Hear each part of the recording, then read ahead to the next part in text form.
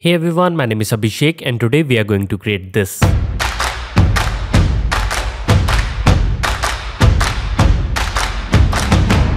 So this dynamic opener is very easy to create and it is made only using After Effects. So let's see how to create this. Alright, so right now I'm in After Effects and over here you can see that I have already imported a couple of video files and it's completely up to you. You can download whatever videos you want or you can use image as well. Also, I have this track which I'm going to use for this tutorial and you can pick whatever track you want. Just make sure that it has really nice speed so that it will really enhance your animation. So let's begin. So first I'm going to create a new composition. Let's call this main. Width and height will be 1920 by 1080, frame rate 30 fps and duration you can go with 10 seconds, whatever you want. Just click on OK. Now let me just quickly drag one of the video footages. I'm going to drag this one so it is already really big. So i'm going to just scale this down by pressing the s key something like this. Now while creating these kind of animations you have basically two best friends. One is the beats that you have on the track. So let me just quickly drag the track over here. And if i select this i can press l twice or you can just simply click on the hold down. And from here you can see the waveform. And over here you can see that all the beats are highlighted with these peaks. So you know that where you have to do the animation. And your second best friend is the hold keyframe. So these two will really enhance the look of your animation. Let me show you what i mean. So first i'm going to just simply create a text and let's select the text tool. And now i'm going to click anywhere. Now it's completely up to you. You can pick whatever font you want. I'm using this prohibition. Let's type opener. And i'm going to just quickly double click on it. And let's change its color to white also let's make sure that its anchor point is in the center. So you can hold down the control key and then just simply double click on this pan anchor tool. Now let me just quickly select this and let's press s and i'm going to just scale this up. Let's align it into the center using the align panel. If you're not able to see this then you can go to windows and from here you can enable it. Now i'm going to select this and i'm going to just disable the fill. So you can just simply click on this and you can see that the fill has gone now we can click the back color which basically means the stroke. So I'm going to change the stroke color to white and right now we are not able to see any kind of stroke. So in order to do that I'm going to just increase this value. So over here you can see that we have this really nice stroke. Now let's see how to animate this. For this one we are going to animate it using the animation properties. So I'm going to use the opacity for this one and let's see how to do this. Now you might not be able to hear the track that I'm playing, but I can hear it when I'm playing this and it sounds something like this. So all these peaks are representing the beat. So I will try to match these beats with the animation. So first let's not focus on the track and let's just only focus on the animation. So let me just quickly show you how to animate this. So first I'm going to select this opacity and let's set this to zero. Make sure that you are selecting the opacity which is under the animator, not this one. And now we can go inside the range selector and over here we can animate it using the end property something like this. Or you can use the start property just like that. So for that we can add a keyframe. And let's move somewhere around 15 frames. And let's set the value to 100 so now you can see that we have all the text coming up.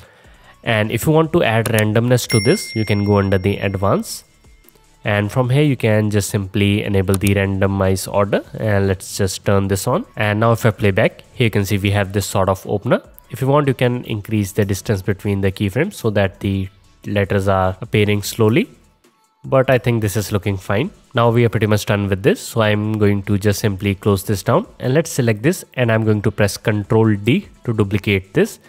And on this one, we are going to just disable the stroke and let's go to the fill and make sure that fill is enabled something like this. Now we want our stroke to come first and then the fill to come after that. So in order to do that just simply drag this. So now you can see that our stroke comes first and let's place it somewhere around here. And after that we have our fill coming in just like that so we are pretty much done with the first part and now let's add some glitches to this and there is a very powerful technique that you can use i really love it so in order to do that, let's just create a new adjustment layer. And on this one, we are going to apply a effect called transform. Just select this and let's apply it. After that, you can just increase the scale something like this. Now the best part is that if you select the adjustment layer, you can just simply change its size and it will affect only the area that is under it, something like this. so in the same way you can have multiple glitches. So let me just show you how to do that. So i'm going to just simply randomly place this over here. And after that you can select the layer. Press ctrl shift d to split the layer. And let's have a little bit of gap. And after that we can again select our adjustment layer and we can just change its size and position something like this. And again let's select this press ctrl shift d.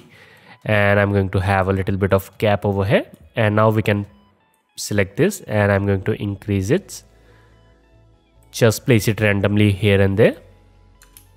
And you can just play around with this and just place it wherever you want just like this. Again press Ctrl Shift D to split this. And if I play back, here you can see we have created this really amazing animation in just matter of seconds. Now let's select this and I'm going to delete this because we are going to just play around with these values only. At this point I want the footage to change so we can just drag another video. So let me just quickly do this and let's place it over here. Again this is very big so I'm going to just add a scale animation. So let's press S for scale. Let's add a keyframe and let's move a couple of frames ahead. And after that just scale this down. Something like this. Now if i play back here we have this animation but it's too slow so we can select the keyframes and press f9 let's go under the graph and if your graph looks different then make sure you are in the speed graph not the value graph. Let's select this endpoint and i'm going to just drag this handle. And let's select this one and drag this as well. So now if i play back we have this sort of look which is looking perfect. Now we are ready to add some black borders. So in order to do that we are going to add a solid. So right click go to new and let's add solid. Let's make its color black. Again you can pick whatever color you want. And let's move this over here. In order to do that we are going to apply a effect called cc jaws. And let me just quickly drag this. After that we can just let me just increase the completion. So you can see that we have this wavy kind of pattern. We can get rid of it by simply setting the height to zero. And let's animate it from 100 to somewhere around here. But first i'm going to add our text. So in order to do that we can just simply select the text tool. And let's click. And you can type whatever you want. I'm going to type design. Again let's place it into the center. And let me just quickly scale this up. Now let's move it over here and let's move it below this black solid. Now i'm going to just quickly animate its completion. So let's add a keyframe and let's go to somewhere around here. And i'm going to just increase its value so that only the design letter is visible. Something like this. Now we can select this press u. And over here you can see we have this animation. But again this is very smooth. So i want this to have like little bit of jumps over here. And over here we are going to use the toggle hold keyframe. Let me just show you how to do that. But first let's animate our text. So in order to do that let's select this. And on this one we can do a bunch of different animations. I'm going to just select the tracking one. So we can animate its tracking something like this. So in the beginning i'm going to just make it like very close something like this. Let's add a keyframe. And as the animation proceeds we are going to just increase its value just like that. So again we can select this press F9 let's go to the graph. Just play around with the easing. And we have this. Looks perfect. Now let's quickly change this black solid. So let me just quickly pick a couple of points. So for example let's pick over here. Again you can use the beats so let me just quickly select our track and let's press L twice. And I'm going to just place it above so that we are able to see what we are doing. And over here you can see we can place this add beats. So over here and one over here. One at this point and one at this point. And after that we have this ending keyframe. So once you are done with this just select all the keyframes and right click. Just click on toggle hold keyframe. So now you can see that instead of going smoothly these will go into these breaks and these are all sync with the music itself. So this is how you can create this kind of animation. Let me just quickly disable this and let's place it below. Now we are pretty much done with this part and let's see what we can do in the next step. So after this i want the screen to go completely black. So let me just quickly select this and for this one i'm going to just add keyframe over here and then just pick a point somewhere around here. And let's just simply make this zero. And also i'm going to select these and hold down the control key and then just simply click on them so that these are linear keyframe. And these will go something like this. Now I can select this press F9 let's go to the graph. And let's change this. So yeah this is looking nice. Perfect now again if you want you can add some animation to the text as well. So let me just quickly add some scaling animation. So let's add a keyframe over here. And in the beginning I can just simply scale this up a lot just like this.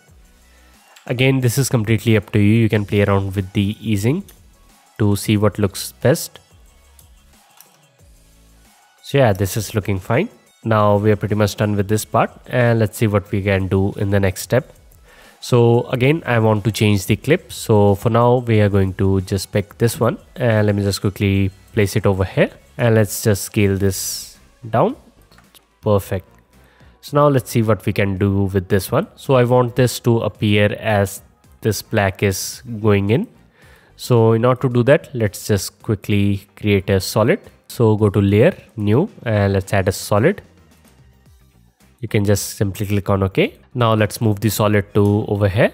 And on this one, we are going to animate its scale. So let me just quickly uncheck these values and let's go to the very beginning. And in the beginning, we want this to be at 100. So let's add a keyframe. And after that, we can go a little bit ahead and then just simply set the Y value to zero so that we have this sort of animation. Again, we can select the keyframes, press F9. Let's go to the graph and let's just tweak the curves. Perfect. Now one last step is to change the track matte option. So we can select the video footage and let's go under the track matte option. And if you're not able to see the track mattes then you can click over here just like this. Now let's set this to alpha inverted. So if I play back here you can see that our clip is coming from the outer side as this is closing so let's see what we have created so far. Perfect. Now we are done with this and let's add our text over here. So again, we can just simply use the opener text. So I'm going to just select this, press Ctrl D to duplicate them and let's place it to the top and I'm going to just add our text over here, something like this. And on this one, we are going to type cinematic. So just change the text and let's preview it. Now I'm going to select them and let's press U. And we don't want this much of animation. So I'm going to just decrease this. And let's move the keyframes over here. Yeah so this is looking fine. Now we are going to play with the scale of the fill text. So again we can make use of the sounds. Let me just quickly place this top. And let's pick the beats. So over here we have the beat over here and again we can select this. And let me just quickly press S for scale. Let's add a keyframe. And let's pick another beat somewhere around here. Now I'm going to change its scale. And let's go to over here. And let's make this smaller. Just play around with the beats and just play around with the text. And let's make this even smaller. After that let's make this bigger and let's make this even more bigger. And at this point I'm going to just simply full screen something like this. Now we can select the keyframes and let's right click and again toggle hold keyframe. So if I play back here you can see we have this animation sync to the music. Now again we can add some glitches to this. So let's just simply select all of them press ctrl D to duplicate them and let's place them at the very top. Now we can add the glitches over here as well. So let's just quickly pick this one. And yeah i think this is looking fine. Let's increase its duration. And we can have one over here as well. Or we can change its position. Something like this. And let's have some more over here. And let's place this one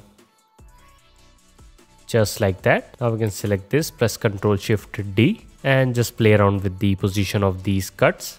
Now we can select these press ctrl d to duplicate it once again and let's move them to the top.